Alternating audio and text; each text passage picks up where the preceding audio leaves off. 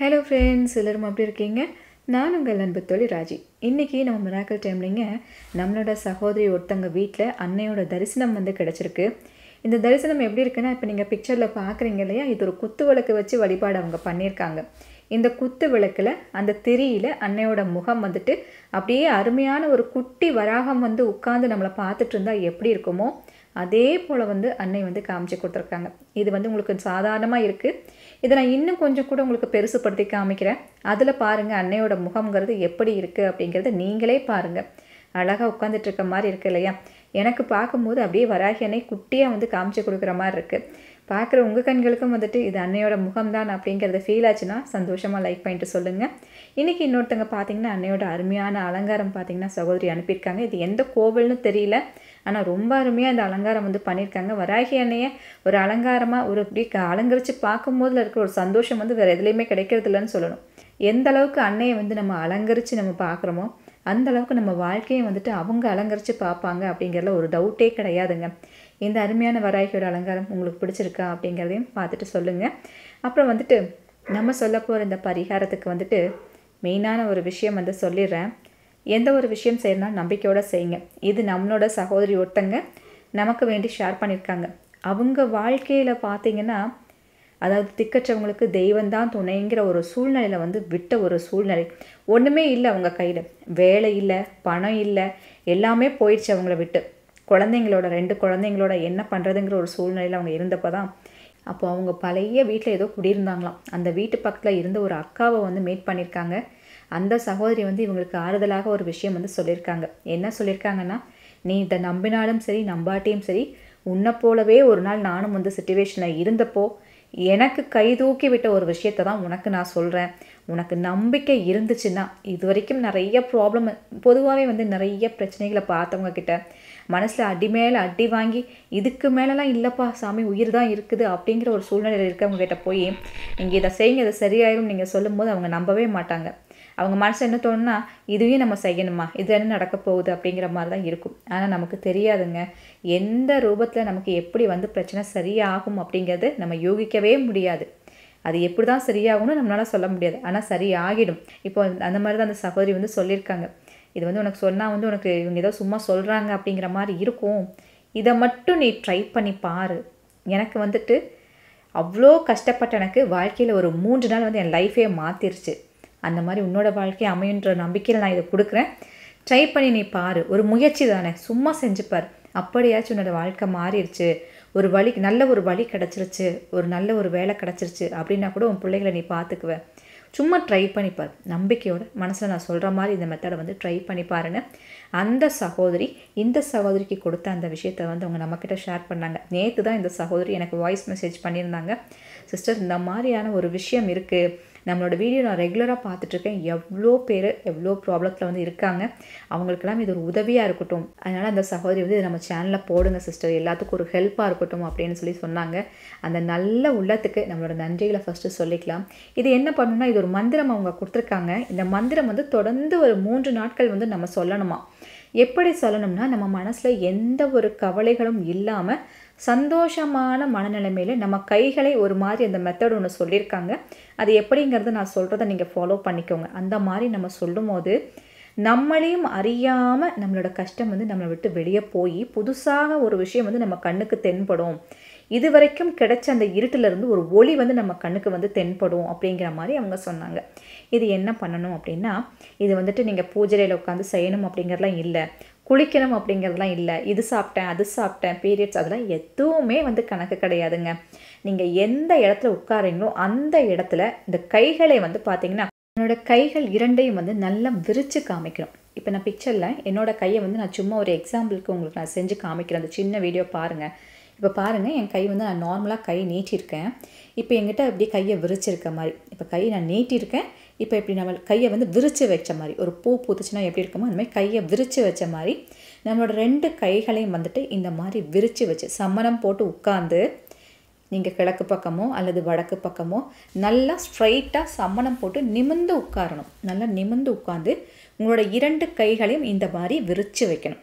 விரித்து வச்சு மனசார ஃபஸ்ட்டு உங்கள் மனசில் என்ன வேணுமோ அதை ஃபிக்ஸ் பண்ணிவிட்டு இப்போ அந்த விஷயத்துக்குள்ளே நீங்கள் போயிடணும் எப்படி போகணும்னா உங்கள் மனசு ஃபுல்லாக ஹாப்பினஸ் மட்டுமே இருக்கணும். இந்த விஷயம் ஒரு மந்திரம் வந்து நம்ம சொல்ல போகிறோம் ஒரு பத்து நிமிஷத்துக்கு மட்டும். இந்த பத்து நிமிஷமும் இந்த மந்திரம் சொல்லும்போது உங்கள் மனசு வந்துட்டு பயங்கரமான ஒரு ஹாப்பியில் இருக்கணும். பயங்கர சந்தோஷமாக இருக்கணும்.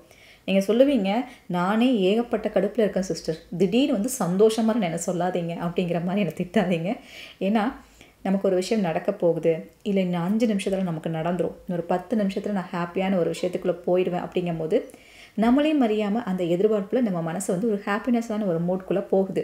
அந்த ஹாப்பினஸ் நமக்கு நடக்கிறதுக்கு முன்னாடி அது நடந்துட்டா எப்படி இருக்குமோ அந்த மாதிரி ஒரு ஹாப்பினஸ்க்குள்ளே நீங்கள் போயிடணும். சரிங்களா? அந்த விஷயத்த நடந்துட்ட மாதிரி கற்பனை பண்ணி நீங்கள் அந்த ஹாப்பினஸ்க்குள்ளே ஒரு பத்து நிமிஷம் வாழ போகிறீங்க ஸோ அதனால் அந்த பத்து நிமிஷம் உங்கள் மனசு வந்துட்டு பயங்கர ஒரு ஹாப்பியான ஒரு சந்தோஷத்தோட இந்த மந்திரத்தை வந்து நீங்கள் சொல்லணும். இந்த பத்து நிமிஷத்தில் உங்களால் எவ்வளவு முடியுமோ அவ்வளவு தடவை நீங்கள் சொல்லணும். இதை தொடர்ந்து மூன்று நாட்கள் சொல்லணும். எப்போ சொல்லணும்னா விடிய காலையில் நாலரை மணிக்கு நீங்கள் சொல்லணும். இது வந்து பிரம்ம முகூர்த்த நேரம்னு சொல்லுவாங்க. காலையில் நாலரை மணிக்கு இந்த மாதிரி ஒரு அமைதியான ஒரு இடத்துல உங்களோட பெட்ரூமாக இருக்கலாம். சுவாமி ரூமில் கூட உட்காந்து நீங்கள் செய்யலாம். ஆனால் அமைதியாக இருக்கணும்.